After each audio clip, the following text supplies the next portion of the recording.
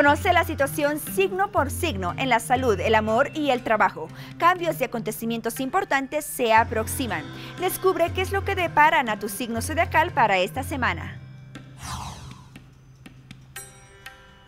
Géminis, en el amor, el planeta regente de tu signo, Mercurio, trae auxilio y predispone a conversaciones románticas o por lo menos un intercambio de ideas en momentos que se comparten en el día a día con alguien que quieres mucho.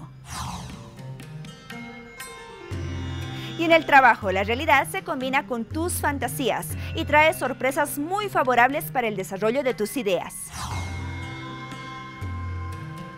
Respecto a la salud, cuida tus articulaciones, sobre todo si realizas deportes o actividades demasiado intensas.